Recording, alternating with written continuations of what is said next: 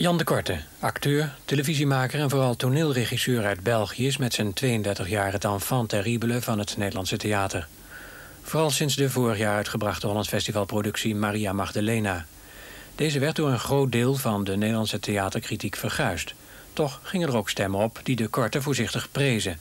Een eigenzinnige regisseur die met zijn geheel eigen aanpak blijk gaf van een duidelijke visie op toneel en samenleving.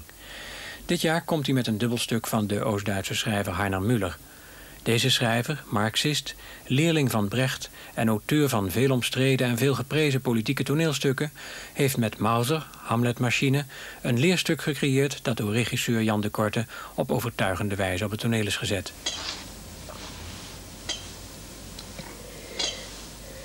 Televisie.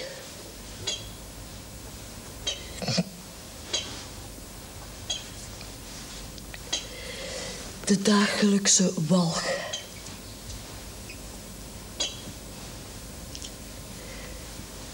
Walg.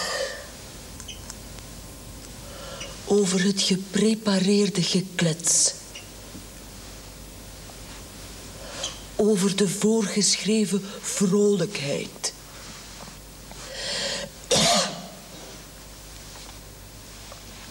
Hoe schrijft men gezelligheid?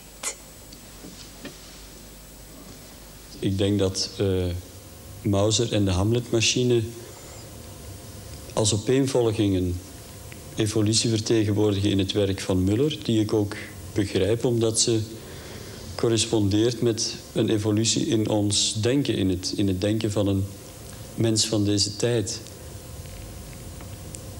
Die evolutie begint bij een bepaalde orthodoxie, bij een bepaald dogmatisme. Mauser is een leerstuk.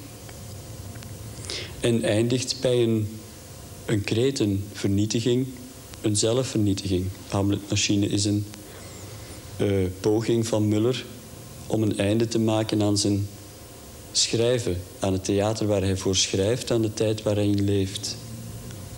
En die evolutie is voor ons, uh, voor mij ook, een belangrijk onderwerp. Over de leugens die geloofd worden. Walg.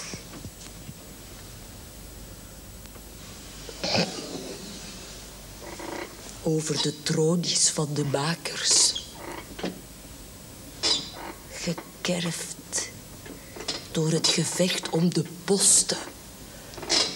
Stemmen. Bankotos.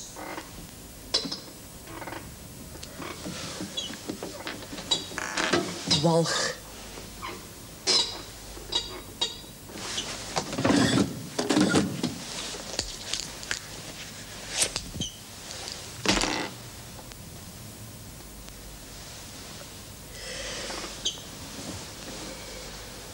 Een sikkelwagen. Die van punten flikkert.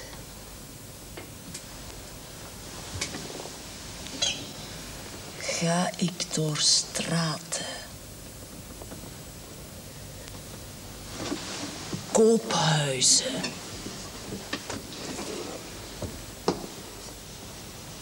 Gezichten